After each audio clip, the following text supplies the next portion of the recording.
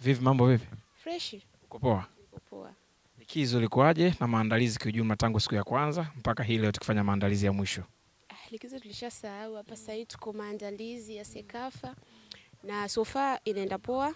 Uh, na uh, as players tuko ready for the task ahead. Kwa namna ambavyo uh, umeona maandalizi tangu tumeanza, lakini pia maingizo ya wachezaji wapya ambao wamekuja kuongeza nguvu kwenye kikosi chetu, nini ambacho ungeweza kuzungumzia hasa kwenye eneo la ufundi na kwenye wachezaji kiujumla? Um, first naweza sema kwanza ongera kwa viongozi wetu kwa usajili wamefanya juu uh, wameleta wachezaji wazuri, wanajielewa, wako na wana competition, so hiyo ina make uh, the other players to work more extra. Uh, so unajua tena kutafuta namba ina need more effort, so uh, then as a team uh, tuko na tuko na ambition yetu which uh, ni kuenda na ku uh, ku, ku make sure tuna tunapigania kikombe ya Sekafa na kuileta back Tanzania.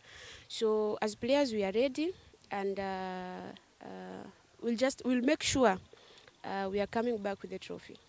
Kumekuwa eh, kuna hii michuano kwenye nyakati tofauti tofauti. Kwa mara nyingine tena unaenda kuiwakilisha Simba Queens. Kwa namna ambavyo umeziona zile timu nyingine kwenye kundi letu B, eh, unaiona wapi Simba Queens na nafasi gani unaipa kwenye hii michuano? Siwezi kuongelea timu zingine, naweza ongelea Simba Queens. So for us I think uh, tutata kila mechi as a final to make sure tuna win. So once umeenda na spirit ya kila mechi finali, ina maana lazima ufanye nini? Lazima ushinde. So mi naweza ongelea kama Simba Queens, si tunaenda sisi kucheza sisi kama sisi, kila mechi finali ku make sure tunashinda. Mashabiki wamekuwa wakiuliza eh, kuhusiana na Simba Queens hasa kuelekea kwenye hii michuano, labda ni nafasi ya wao kuweza kuzungumza nao, kwa sababu michuano itaonekana moja kwa moja, lakini Ethiopia kuna Watanzania, pengine labda watatamani kuja kuangalia kikosi chetu. Um, uh, naweza sema wakuje watu support tu. Uh, their support has been a big support, uh, has been a big support kwetu. Uh, umenielewa? eh? okay, support yao imekuwa support kubwa, imekuwa ni moral kwetu, so uh, waendelee kutupia hiyo moral uh, ni motivation enough kwetu, na we don't take it for granted because after all we never disappoint. We are Simba Queens. Captain, mambo vipi? Poa ni aje? Uko poa vipi? Niko poa kabisa. Mazoezi na maandalizi kiujumla yalikuwaje tangu siku ya kwanza mpaka hii leo siku ya mwisho tukielekea kwenye michuano ya Sekafa? Uh, maandalizi yanakwenda vizuri, walimu wanatupa mazoezi ambayo yanaweza kutusaidia katika mashindano ambayo tunaenda, na wachezaji wapo tayari kuyapokea na kuyafanyia kazi katika mashindano ambayo tunaenda kucheza.